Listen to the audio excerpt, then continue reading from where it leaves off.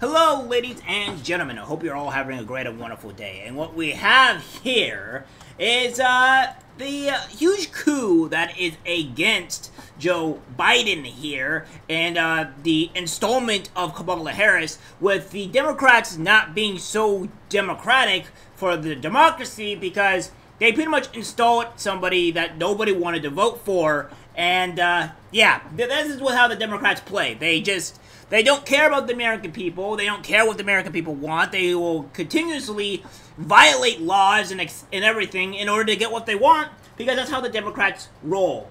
What we have here is this from Newsweek saying that uh, uh, that uh, this here.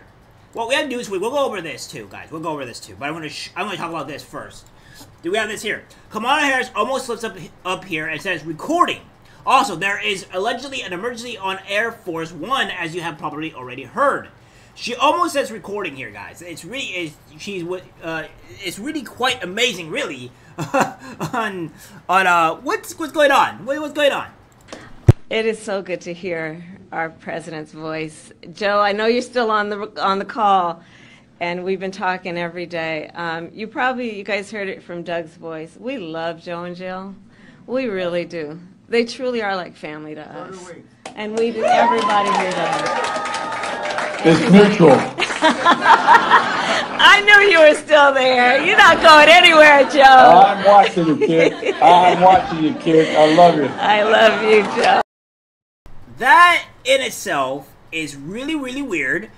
Uh, I, I don't know what's going on there. See, it, it, it's weird because uh I don't know, man. Like that whole in- instance is weird. It almost says recording, and then we have this here saying from Newsweek saying Joe Biden hospice care claims debunked what we know. Uh, so um, there's been conspiracies or talk about Joe Biden being in hospice. Uh, whatever it says. Right wing commentator Charlie Close has posted a rumor that President Joe Biden had a medical emergency in Las Vegas last week and may be in hospice care. Claims which have been debunked.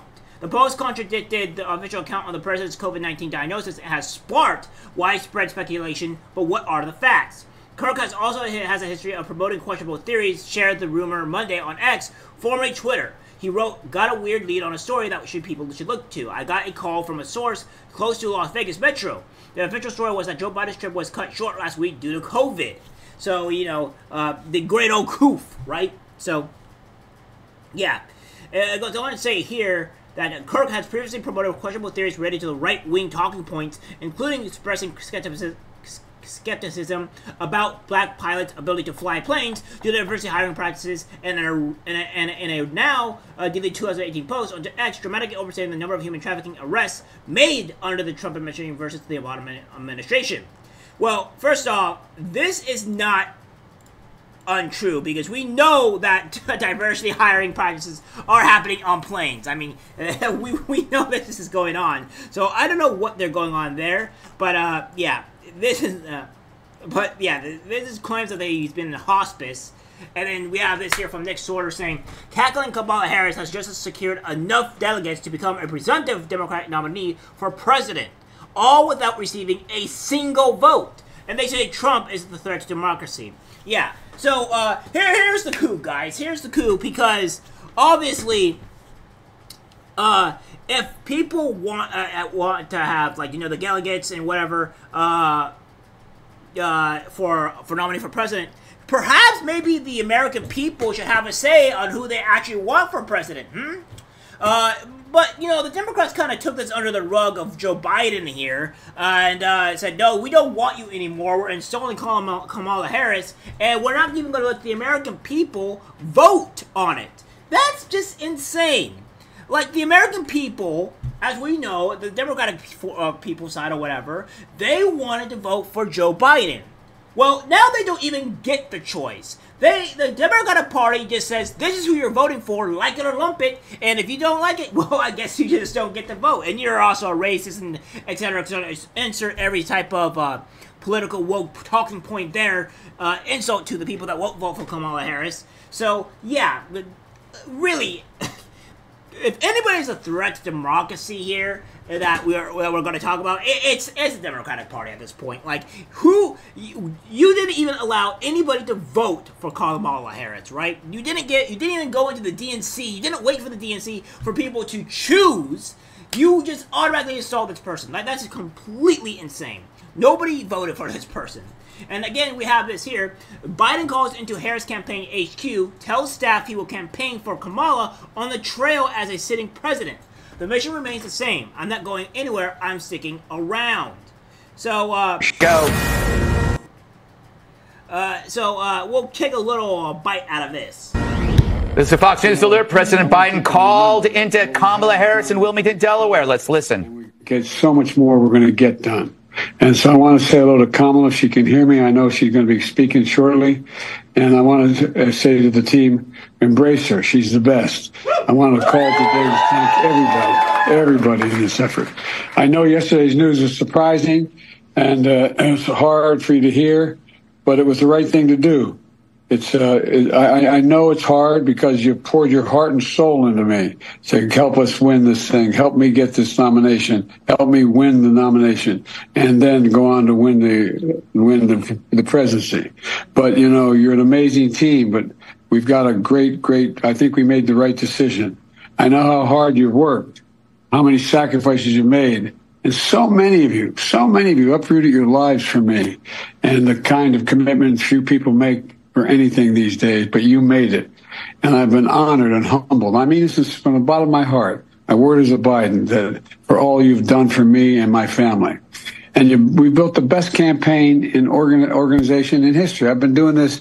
I, I always kid and say I know I'm only 40, but uh, I've been around a long time. I don't know of a better campaign organization, grassroots campaign. Again, it's really just odd, right? Uh, because it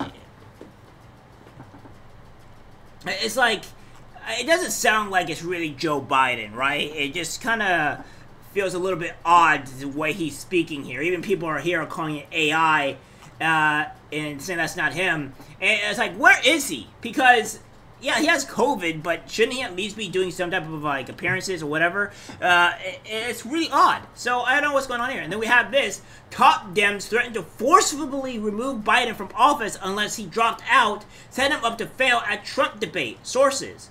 So it goes to say here that operatives at the very highest levels of the Democratic Party threatened President Biden with forcibly removing him from office unless he stepped down. The well-orchestrated palace coup to stop the faltering president from seeking re-election had been in the place for weeks, but stubborn Biden fought it every step of the way, a source close to the Biden family told the Post on Monday.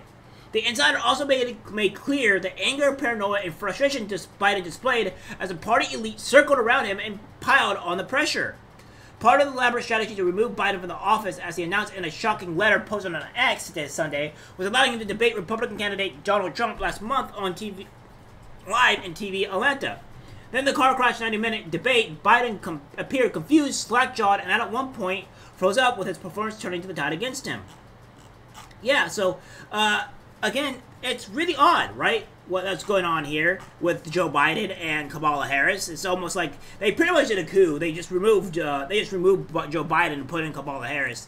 So that's the case here. And uh, I, what else am I going to tell you guys? The Democrats don't care about the American people. I don't think they ever have about the American people, and until they uh, and they don't show any signs of uh, you know going on. So there's rumors that there's hospice care going on. There's rumors that he had a stroke, whatever. That is not entirely confirmed, but we haven't seen him for about a week. And uh, if he has COVID, then well, well, and I don't know. Eh, he should be making some kind of appearance, and then he's going off screen. I mean it's just really weird, man. It's just really weird. I don't know what else to expect from people, but uh, we'll see what happens. He's supposed to show up at least, I, I'm assuming, either today or if not, well, if not today, tomorrow, right? Like, we have to see him at some point, so we're going to have to see, hopefully, uh, hopefully tomorrow, if not the next few days, because if not, he may be deceased, and we might have to be looking for the worst here. Alright guys, that's it for the video. Like, subscribe, share. As always, take care my friends. I'm disgusted uh, by what I see in public. Even people closest to us can't be trusted. Algorithmic disease, the social media.